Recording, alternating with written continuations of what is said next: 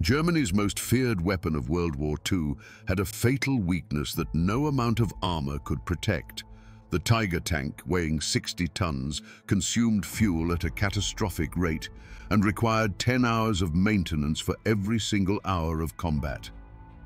Its final drive failed catastrophically every 100 miles. Historical records reveal that 38% of all Tiger losses were non-combat related, abandoned by their own crews when transmissions shattered under the immense weight. While Allied tanks feared the Tiger's 88mm gun, the Wehrmacht's logistics officers feared something far worse.